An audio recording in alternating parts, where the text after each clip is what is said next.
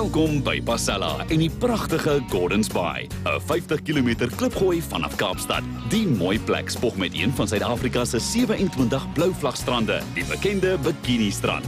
Die dorp se geskiedenis begin in die 1670s toe die Hollanders 'n visserspos hier gestig het. Iersaat ontmoet restauranteienaar Annie van Wyk by die historiese poskantoor. Ek verstaan die naam Gordons Bay het heelwat verander oor die jare. Dis reg. Volgens hier sal jy sien, dit was eers Fisher's Bay. Dit was in 1672, toe vishoek, later kombuis met 'n see. Dit was baie wild en vars water en vis. In die 1780s het Robert Jacob Gordon, was 'n ontdekkingsreisiger, het hy Gordons Bay na hom vernoem. Hoekom wou jy spesifiek ek moes by die poskantoor kom ontmoet? Die posmeester het hierdie waardevolle fotorampie aan my toe vertrou met julle te deel. Dit dateer 1939 uit 'n koerantjie diens. En dit sê toe al dat hierdie poskantoor was die mooiste poskantoor in die Unie. En hy lyk vandag nog omtrent net dieselfde. En daardie stadium was nog 'n klein vissersdorpie, min gebouetjies en dit het omtrent so iets gelyk. Daarom is ons dorpie nou heelwat groter, baie meer om te bied. Ek kan vir jou gaan wys. Die deel hier by die poskantoor was die oorspronklike dorp en van hier af het dit na weerskante uitgebrei. Ons stap nou verder noord in die hoofstrandse rigting. Hier is vandag sowat 8000 inwoners wat tot ongeveer 18000 styg gedurende vakansietye. Lank tevore was die San die eerste inwoners van die Suidwes-Kaap en in die eerste millennium het die Khoikhoi gevolg. Hulle was nomadiese herders en die eerste Europese settlers het hulle die naam strandlopers gegee. Nie baie van hul artefakte het behoue gebly nie, maar in 1967 is 'n belangrike skop pynhoop in Gordons Bay opgegrawe. Weet jy, hierdie skophope wat ons hier sien, dit lyk soos duine. Die strandlopers wat hier gebly het, het op hierdie kusstreke Hulle het voëls gevang en die voëleiers geëet, maar hulle het hoofsaaklik maar van seekos gelewe. Hulle het oesters, perlemoen, mossels, al daai goed wat ons so duur voorbetaal vandag, het hulle hier in gesamentlike eetkamers verorber. Hulle het die skulpe neergegooi en dit het hope gevorm saam met hulle wildsbene en potskerwe en goed. So mettertyd het het die duine ontstaan, die sand en die plante groei daaroor gegroei en dit is wat ons vandag sien, dis skulphope. Ek is dan beseker ek het hierdie duine op ander strande gesien. Dis reg. Van Kaappunt tot Hangklip sal jy hierdie skulphope vind. Op 'n heuweltjie direk agter die hoofstrand kry jy die NG Kerk wat in 1915 gebou is. Dit is deesdae 'n gewilde trouplek vanweë sy lieflike uitsig oor die see. Die area rondom die dorp is volgens eiendomsagent Jaco Roots gewild by stappers. Hy wil vir Irsa die GB-teken wys wat in 1949 bo die dorp uitgepak is. Die een wat almal aanneem staan vir Gordons Bay. Die paadjie is deel van die Dani Miller staproete wat jou berg opneem om oor Valsbaai en die Helderberg uit te kyk. Dit is 7 km lank en neem sowat 90 minute om te voltooi, as jy fiks genoeg is om die opdraande uit te kom. As hierdie mooi GB nie vir Gordons Bay staan nie, waarvoor staan dit dan? Dit staan eintlik vir uh, generaal Botha, die eerste eerste minister van Suid-Afrika. Uh, maar die storie is nie so eenvoudig nie. Dit begin eintlik in Engeland waar 'n man met die naam TB Davis 'n skip gekoop het, die HMS Thames. Uh, die skip het hy afgebring uh, Suid-Afrika toe vir die opleiding van jong skeepvarende mans. Dit is toe later hernoem na generaal Botha. Die skip is toe later gebring na Gordons Bay en die ou lug en seevaart Luftvaart uh, basis is toe hernoem na generaal Botha die skip. Die kadette van die basis het toe nou later die posisie aangedui van die basis met die GB teken.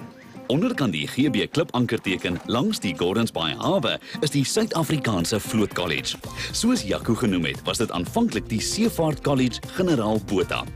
In 1947 het die opleiding van seemanne na Simonstad verskuif, maar die landopleiding is as onbevredigend beskou en die keuse vir 'n nuwe basis val toe op Gordons Bay. Die college lei kandidaat-offisiere op en het sedert die Tweede Wêreldoorlog 'n reuse aandeel in die opbou van die Suid-Afrikaanse vloot gehad. Kaptein, wat is die belangrikste elemente van opleiding vir offisiere?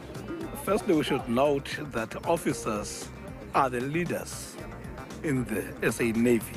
And if you are to train leaders, you have to consider a number of factors, including that ability to work in a team and to lead a team. And it is very important that you develop them in terms of professionalism. And of course, the training consists of three aspects the academic aspect, the leadership potential and development, and the physical fitness. Because our learners must be able to lead under stressful environment. Ek merk ook dat hulle met swaarde drill. Hoekom is dit? Yes, officers in the South African Navy and in the SANDF are commissioned by the president. They are the only ones that get that commission from the president as leaders. And therefore, as leaders, they have got to demonstrate authority. A sword is therefore a sign of authority that is conferred on an officer when they pass out. For example, this year they'll pass out on the 10th of December. So when they leave here, they must know that they are trusted by the President of the Republic of South Africa. Elke tweede helfte van die jaar word 'n oop vlootdag gehou waar tydens die publiek met parades en 'n bootrit getrakteer word. Nog 'n deel van Gordons Bay se kultuur is al NSRI stasie 9.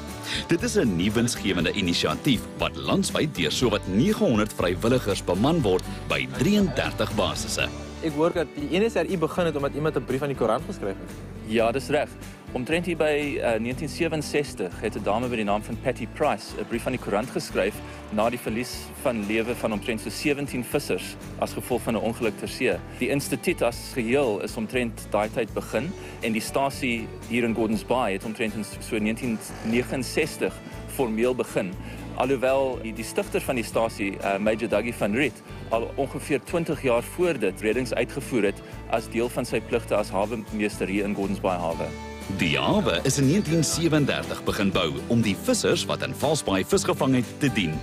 Van vervloë kommersiële vissersbedrywighede is min oor. Dit is nog net lewenslange inwoner Clive Leibrand se kreefbote wat van hier af uitgaan. Jy het mos as kind hier in die hawe rondgespeel. Hoe het dit oor die jare verander? As jong kind kan ek onthou hoe hulle altyd hier baie vis gevang het, kabeljou en so aan.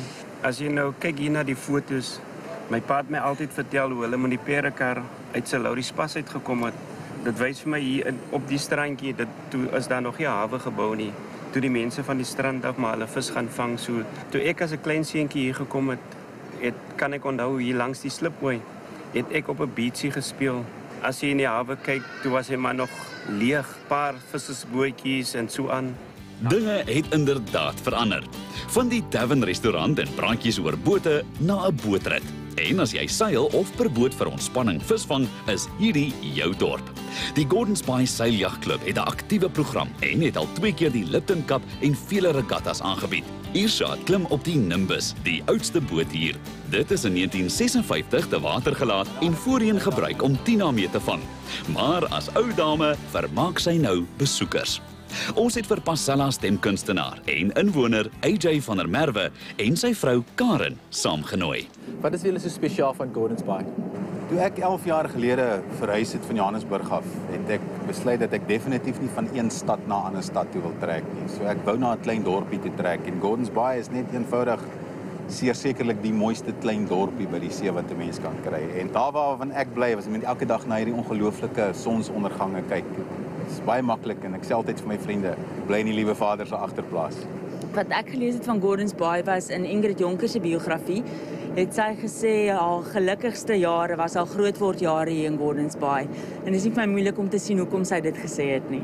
Raak mens ooit gewoond aan Gordons Bay se wind? Ja, nee, kyk, daar's 'n paar pertinente dinge wat ek oor die wind kan sê. Punt nommer 1, jy kan hierdie wind nooit jou vyand maak want jy gaan nie wen nie. Punt nommer 2, die wind word net daar gebore. Net daar as hy oor daai berg kom word hy gebore. Ook in ons agterplaas. Ja. So teen die tyd wat hy ons huis tref, dan is hy 'n tiener en die tyd wat hy onder kom is hy groot. As mens so na Gordons Bay se inwoners luister, is dit geen twyfel aan hoe spesiaal die dorp is nie. Maar ek hoef nie al woord daarvoor te vat nie. So 'n uitsig spreek boekdele. Maak jou hare deurmekaar en besoek Gordons Bay as jy die vakansie hier elders rondrentel. Pas net op dat die wind jou nie permanent hier teen die berg vasvaai nie.